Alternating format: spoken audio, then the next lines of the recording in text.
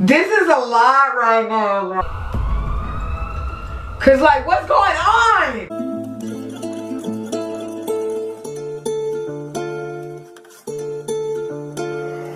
Black Lions.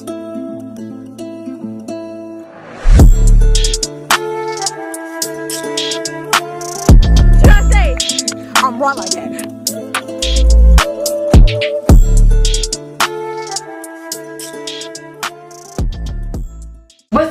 It's your girl Cindy back with another video.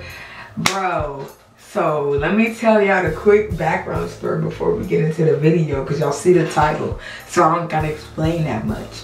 I was over here trying to edit and when I be editing I like to watch like videos or whatever and whatnot. And I just seen Ezee X Natalie video. And I'm like, bro, is this video really real for real? I have to react to this No Rocky, like I'm not playing no games because what's going on? I can't wait to watch this. I have to watch it right now. So we finna get into this video and you know we finna react. But before we get into it, don't forget to like, comment, and subscribe for more of my videos. Guys, please be sure to click that button, the subscribe button that's right there at the bottom. You know, I'm gonna give you, I'm gonna give you a little time. to-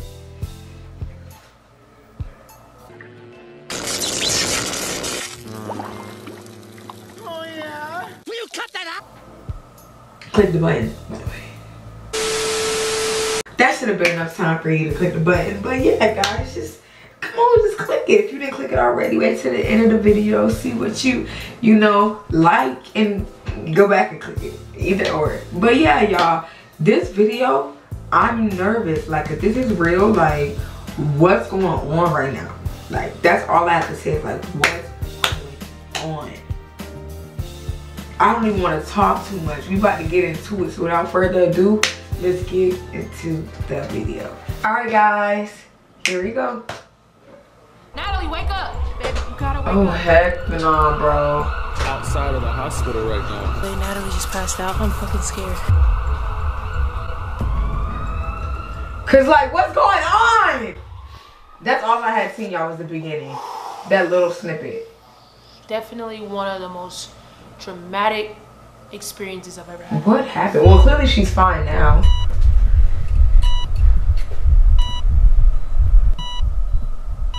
How do you not be scared when you see your girlfriend's eyes rolling to the back of her head?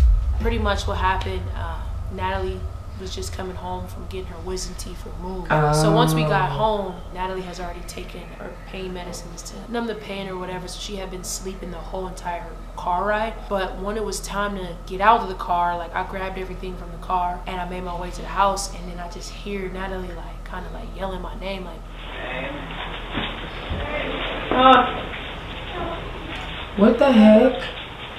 I was like, okay, here I'm coming. And I like literally set all the stuff that I had down in the house and I ran back to her to see what was going on and she just said she just wasn't feeling good. As you can see, like she's just walking like kind of like woozy. And I'm just thinking like, okay, she's off her medicine. Of course, like, she not just got thinking too much of it. But then that's when the first like moment happened of her passing out. But it was just like so quick. I just thought she was dizzy, you know. So I was like, okay, baby, we gotta get you to the house. We gotta get you to the bed. And as we're walking, like her legs are dragging, like on Oh, the ground. I'm like, come on, baby, like you know, I'm not thinking nothing of it. She just got her wisdom teeth removed. I had no control over my body. It wasn't scary until the second time she passed out. And at that moment, it was just like she just dropped, Oh, fell to the ground. no. And when she dropped, her head hits the wall, and I'm just like, oh my god. When she gets up, I'm like, you baby just passed Oh out. my. And she was like, what? This is a lot right now. Like, oh, this is a lot. Like, what's going on? Is she okay? Was it the medicine that did this? I ain't never heard of somebody passing out when they just got their wisdom teeth removed. Is that uh y'all like what's going on? Really? So when I stood her up, I was like, okay, I'm about to try to carry her. But I could not carry her because her weight, she was so heavy. So I was like, okay, if I stand her up, I can carry her, like lift her up like this, because I couldn't get her off from the ground. So she was helping me like stand, help herself stand up. Once she got up off the ground, that's when I was like, all right, like we gotta make it to the door. You know what I'm saying? And she's just like, I feel weird. I feel weird. And I didn't know what was happening. Like I didn't know that. Like I didn't know. I didn't know if I was dying. Like I didn't know what was happening to me. And I just remember thinking like, uh, it just felt like there were like weird lapses. Like and like I'd be looking at her, and then all of a sudden, like it would seem like there would be a lapse, and I would look at her again, and then I'd be like, "Am I okay?" Like, and she was just like, "No, you just keep passing out." Like. Oh wow. It's just tough because after that one, uh, she, Mhm. this one was like different. I thought she was okay because you know, like she was talking to me. It's just We not gonna cry. We cheese. about because that was the the moment. It was like I was just scared out of my life, and she just dropped Again. and I'm just like, at this point, I'm screaming for her, like, Natalie, Natalie. She's not waking up. And I'm just like, oh my God, I grab her head and I'm shaking her. I'm screaming her name, like, Natalie, wake she's up. not. Natalie, wake up. And then she's not waking up. So I like start hitting the back of her, like trying to get her some air. I don't know what to do. This never happened before. So I'm like hitting the back of her. Um, her back, trying to get her some air. Then I'm just like, okay, I don't know what to do. I whoa, cause this is a lot. So me watching this, I'm thinking like, what is the correct like? What do you do when somebody passes out? Is there like get them some water, let them wake up? What do you do when somebody faints? Cause that'd be my initial thing, like get them get them something to drink or something like that. She ain't waking up right now. She couldn't even drink water. I probably I feel like even putting water on her face probably wasn't gonna help. At that point, you just call 911? I don't know, y'all. This, this, this, this, this a lot. This is a lot. and I'm about to call 911. But I'm like, what if in this moment, like I could do something and I waste that moment to call the police? So I pull my phone out, about to call them, but I'm just like, she's still not waking up. So I drop the phone and I'm just shaking her and I'm like, Natalie, please. Heck nah, wake up. Wake up. I scream so loud. I know for sure the neighbors hear it. And I'm just like, bro, I can't lose my baby.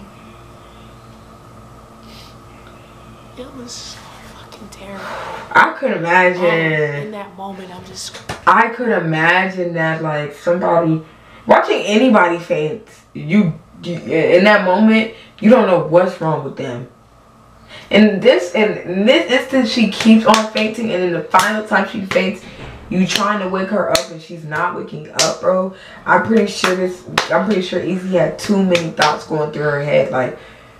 She don't know what's going on. She don't know what to think. She don't know if she's okay. If she gonna wake up. She gonna be in the. Co- she don't know anything.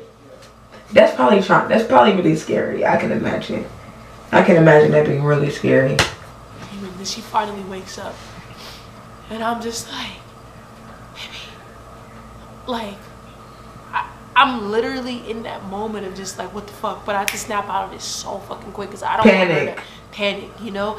So I lift her up and then like move her to her butt because she was like laying so flat Mm, on her, yeah. her ankles. So I was just like, dang, okay, let's sit you down. And then I call 911 immediately. And they're telling me, like, lay her down, get her a pillow, prop her legs up, and all that. And it was raining out and stuff at the same time and like but as soon as she laid me down like i felt so much better like it was honestly my god i can only imagine like how she felt actually being alert witnessing it and stuff because for me like i was so She didn't know what was up, going on. like off of you know the sedatives and stuff like that that they gave me but it was still like pretty scary you know like it was really scary because i didn't know what was happening i didn't know Heck nah, y'all. why like I couldn't move. Why? Why I they gotta add this you music in there, it was- It was. It, I don't know how to explain it. It was just the craziest thing ever. I felt so helpless. Like I'm watching my girlfriend's eyes roll to the back of her head. Like even though I was so scared, I couldn't even panic. You know what I'm saying? Because I knew I just had to be strong. But those were the emotions that I just felt, and it was just like, all right, I can't be emotional. I gotta just do this. You know what I'm saying? Then once the ambulance and stuff got there, um, I felt like, fuck. What's your name? Natalie. Okay, so she's kind of awake right now. And you know the month? Okay, January. Okay, good. When did you have your wisdom teeth pulled out? Today. today? Any like dizziness that you're feeling? Any fever? Well, I don't feel fever, but like just now when I was standing up to try to walk to the house, because we're just getting back from um, the Dodge dentist, and I just stood up and I felt, I just felt like so Weak. dizzy and weak. And, Yeah, weak and dizzy. She's L times three. Okay. and then basically, I don't know, she said I passed out. He passed out like four times. Okay. Do you, do you have a driver's license right now? Yeah. We were yeah, uh, literally walking in and she passed out. You know how long? Did you help her down to the This is Yeah, crazy yeah, how but they well, she kind of dropped by camera, bro. herself. So it's like I caught Them her. home cameras Did don't get you got recently found right. or- Yeah, a couple hours ago. couple hours ago. Yeah. Medication. Have you ever taken that medication before? No. I can show you guys medication. Telling you, you gotta be knowing what you put it in your body. That's very crucial. That happened to my sister actually. Um, she went to the doctor, I think, and they they gave her a shot for something that her body did not react too well to, and she completely fainted and and everything. Had to go to the hospital and everything. So, I mean, sometimes you don't really know until after you take the medicine, which is why it'd be scary to take medicine nowadays because you don't know what's gonna affect your body, what's gonna make you be okay, but you just gotta know, man. Gotta try to be ahead of the game. I don't know how. I don't know how. You just gotta try to. It was a um, it was a Tylenol and a, um, something with an M. Falling hit her head at all? Uh, she hit her head on the back of that wall and then I caught her. Stickers, huh? We're gonna stick your heart. And was she, um, when she went down to the ground, were you able to get, kind of wake her up, or was she? No, it took a, it took Took like while. at least 10 seconds to wake her up. And this has never happened before. No, I never. I don't know if she took the wrong medicine because there's like four pills. So Okay. Have you thrown up any blood? No, but just so much blood. Oh heck no. do you need help? And everything got super real for me once I seen them rolling her out and putting her in the actual ambulance. And I just sat there looking like, what the fuck? This just happened. Whoever edited this though, clap it up to you. You did an amazing job with this. I feel like I'm watching low key like a documentary type. You did an amazing job, whoever did this. Bravo. Are you guys giving her an IV? Bro, I imagine how her family gonna feel when they hear this. They gonna be like, bro, what? Natalie? Because she's super healthy. Alright, moving. Natalie felt like she was going to pass out again, so they gave her a IV. Mm.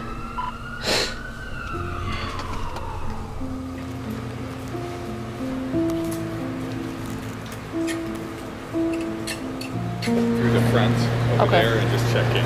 Okay, And then they'll probably want you to wear a mask. okay. You okay? Did they give you anything? Okay, alright. Alright. Uh, my girlfriend just came in on emergency. Okay, so you're just gonna have to wait until she gets to bed, and then we'll let you know and ask the nurse if you're allowed to visit it. Now, uh, you're gonna have to wait like maybe 45 minutes. She's right there. Yeah, unfortunately, no one can be there um, until she gets to bed. When she gets to bed, we'll ask the nurse and then see if you're allowed to stay with her. Oh, but I'll roll with her. And they, like, I don't want to leave her. Yeah, unfortunately, you can't be in the back right there. That's 25 outside of the hospital right now.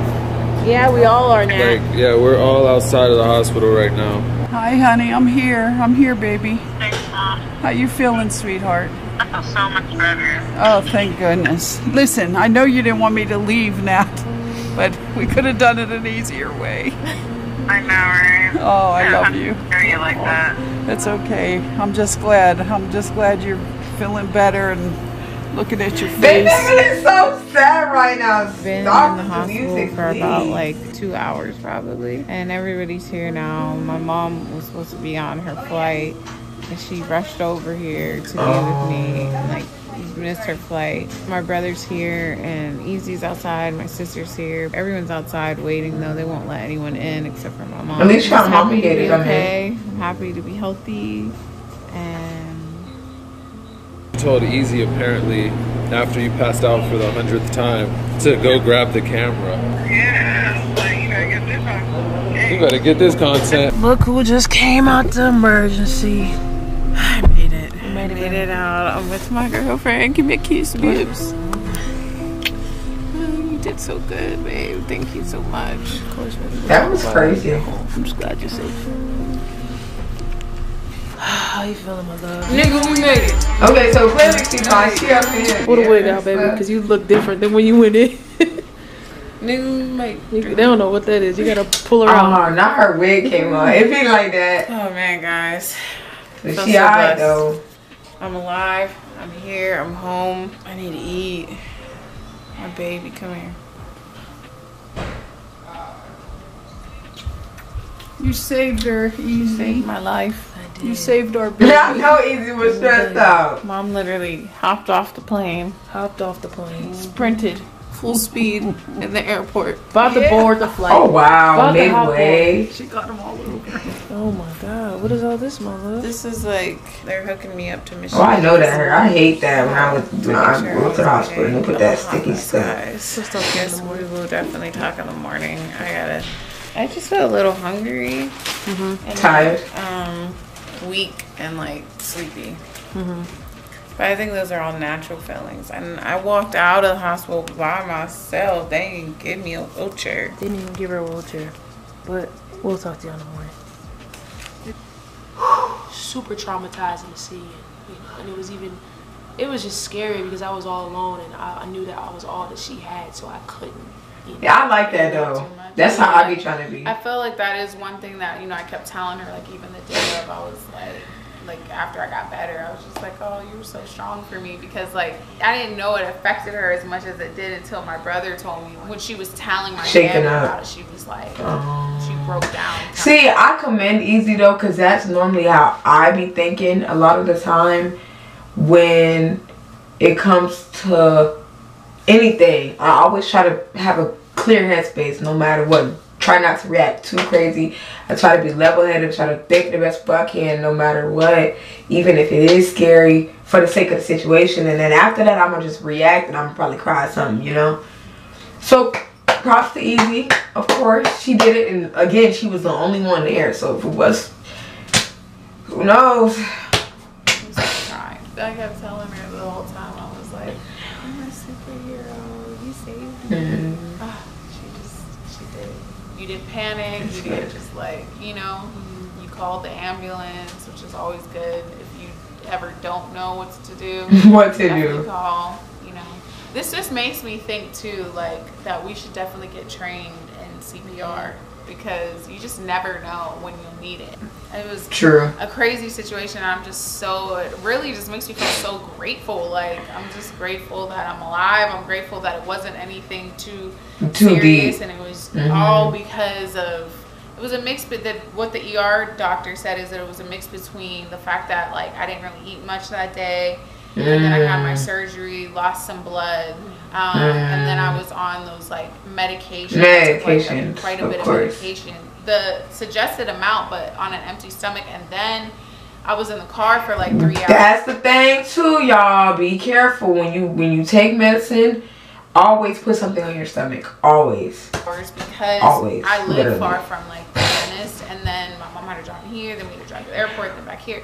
So they said being in the car for that long, like the blood wasn't circulating properly in my body. So when I stood up, it all Mm. rushed down to my legs, which is why I kept passing out. You just It makes so Mm. much sense. I wish I knew everything to do. I wish I wouldn't try to pick you up or have you just stand up. Like, you know, I just felt bad because it was like, damn, maybe if I didn't have her stand up, she, She would've passed out that many times. To the house and just knocked out and went to sleep. You know what I'm saying? But I just was Mhm. like, I don't know though, baby, because I was literally starting to pass She out. probably was gonna by faint regardless. As soon as I stood Yeah. up, I don't really think it was anything that, you know, you did wrong. It was just that, like, I needed to. yeah. I think she would have just fainted regardless because she didn't eat anything. there was not one ounce of weakness in the moment. I just wanted to be a superhero and just make sure you're good. Superman. That was traumatizing. Made it easy. I can imagine. Uh, I'm just so happy she's there.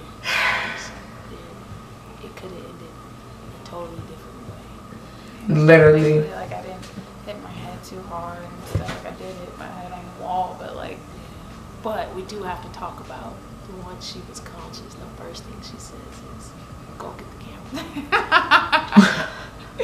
Creator.